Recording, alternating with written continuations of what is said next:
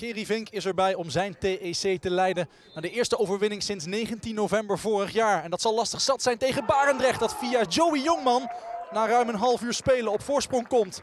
Een schitterend doelpunt van de man die volgend jaar in het shirt van koploper Katwijk mag gaan spelen.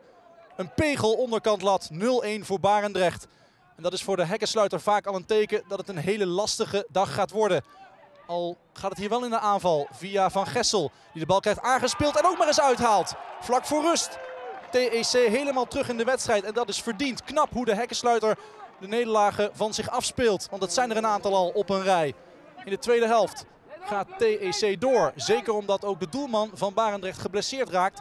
En reservedoelman Stoop moet invallen. En die ziet hier Robbie Holder voor zijn goal verschijnen. Ook al een invaller. En die maakt er 2-1 van. TEC op voorsprong. En Sportpark De Lok in extase. Want gaat TEC dan eindelijk weer een keer winnen? Van der Sman met de lange bal naar voren. Nog een kwartier te gaan. Het doorkoppen van Sherwin God. De nieuwe spits van TEC. En Robbie Holder. Cool. IJzig cool. Maakt hij het af. 3-1. TEC op rozen. TEC moet gaan winnen. Voor het eerst dus sinds 19 november. Toen thuis met 3-1 gewonnen van Liende. Nu 3-1 tegen Barendrecht. Maar nog 12,5 minuten te spelen, weet ook Gerry Vink. Jongman dan nog maar een keer achter de bal. En Joey Jongman voor de tweede keer deze middag. Met een schitterende uithaal en dus 3-2. Het wordt weer spannend in Tiel. Kan Tiel dat aan? Kan TEC dat aan? De diepe bal die gegeven wordt op invaller Selam. Selam en dan Van der Sman zijn goal uit. Hij redt wel knap. Geeft hem dan af aan iemand anders en die moet inschieten. Dat gebeurt. Maurits maakt hem 3-3.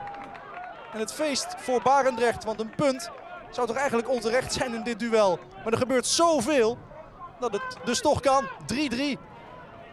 Om het nog erger te maken voor TEC pakt hier Bart Westerlaken zijn tweede gele kaart.